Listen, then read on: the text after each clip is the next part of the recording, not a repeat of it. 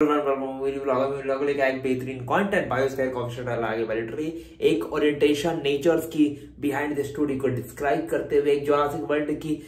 को एक as improvise रखते हुए, एक एक एडमायर करते हुए, एक नेचर को come to at the end जहाँ पे एक ऑक्सीजन जनरेटर का पहला वो सीन दिखाया गया लिटरली वहीं से स्टार्ट हो जाता है बायोस्फेयर लिटरली तो आपको दो हज़ार बाईस, बारह में भी एक कंटेंट आया था बायोस्फेयर से रिलेटेड लेकिन इस बार कुछ और थोड़े से इंटरेस्टिंग वेज में दिखाकर, एक इंटरेस्टिंग वेज का ब्यूटीफुल टच दिखाकर कहानी को इस लेवल से दिखाया गया ना। जो आप एक्सपेक्टेशन नहीं कर सकते बायोस्फेयर की कहानी, एक अलग लेवल की कहानी और कहानी उस तरीके से बनाई गई कि एक नेचर को कैसे हम लोग एडमायर करते हैं और नेचर हमारे लिए हमें कैसे बनाता है? बिकॉज़ हम लोग अगर कहीं से आए तो नेचर से आए। ये तो हंड्रेड परसेंट कन्फर्म है साइंटिस्ट भी प्रूवन कर चुका है। तो लेकिन नेचर को अब हम लोग हार्म कर रहे हैं, जहाँ से हम लोग आते हैं, वहीं से इसको हार्म करते हैं। तो एक बायोस्फेयर मतलब एक ब्रह्मांड, एक सनातम सनातम एक एनर्जी एक पावरफुल एनर्जी एक नेचर एनर्जी की कहानी दिखाने के लिए बायोस्फेयर का काफ़ी इंटरेस्टिंग है। तो चलो वीडियो कमेंट बताएगा। एंड ब्लॉग को सब्सक्राइब कर लीजिए। बाबा